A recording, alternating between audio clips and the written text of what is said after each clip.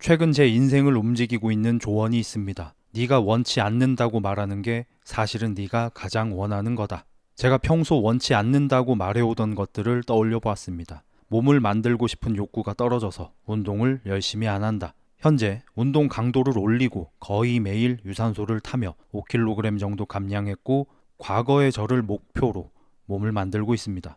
40대에 싸움 잘해서 뭐 할 건데 싸움을 못하는 사람이 말하면 열등감처럼 보일 수 있지만 싸움을 잘하는 사람이 그렇게 말하면 존나 멋질 것 같습니다. 하지만 여건상 MMA 체육관에 다니기 어렵습니다. 제가 사는 오송에는 MMA 체육관이 없고 다른 지역으로 다니기엔 시간이 없습니다.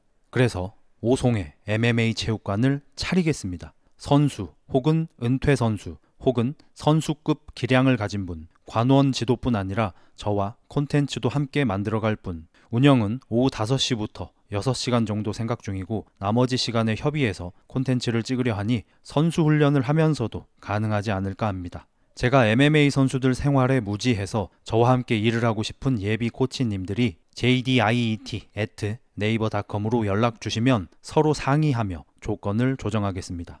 지난 1년간 박찬우, 장민서를 보며 반면 교사로 정말 크게 성장하고 있습니다. 그리고 더, 더 앞으로 나아가고 싶습니다. 앞서 말한 것들과 같이 외향적인 능력은 물론 그들이 옹졸한 자존심 때문에 망해가는 걸 보며 성격, 성향적으로도 더 나은 인간이 되고 싶고 그래서 한 가지 스텝을 더 내밀어 보겠습니다. 19살 나이에 고교 생활을 포기하고 박찬우를 따라다니는 한빈이라는 어린 친구가 있다고 들었습니다. 정식으로 한빈님 영입을 제안합니다. 그동안 박찬우의 지시로 어떤 일을 해왔고 어떻게 저를 공격해왔든 함구하겠습니다.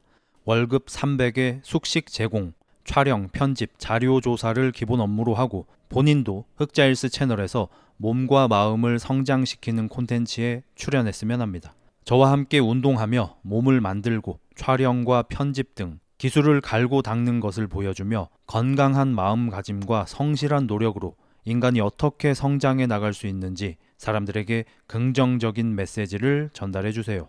누구나 인생에 기회가 찾아온다고 합니다. 몰라서, 알았지만 게을러서, 무서워서 계산만 하다가 놓치곤 합니다. 흑자일스가 악인일지 귀인일지는 당신이 정하는 겁니다. 3일 안에 연락 주세요.